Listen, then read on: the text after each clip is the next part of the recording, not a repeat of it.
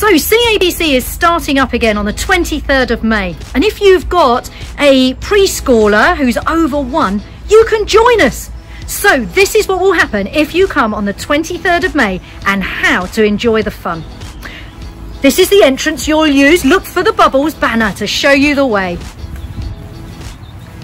You come in through the door and get welcomed at the check-in. Down there, you're to see Nina through those doors. Down we go. Round the corner. Hello! And- Hi, welcome! Find and Matt, it's time to play together. Amazing. We're going to have so much fun in Bubbles. We've got lots of things that we can do and buildings this week's thing. We've got Bible stories we're going to have and we're going to have some fun with some arts and crafts too. It's going to be great fun in Bubbles. We're going to have fun together.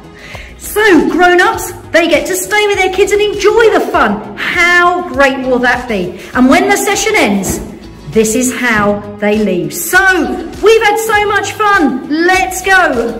We're going to go back out the door we came in on.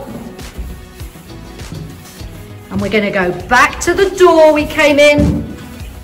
And we can gel our hands on the way out. See you guys. We'll see you later. What fun was had this morning. It was so great to share that with other people. So if you're coming as a parent with a younger child, look for the Bubbles banner to work out which entrance is yours. Don't forget your mask.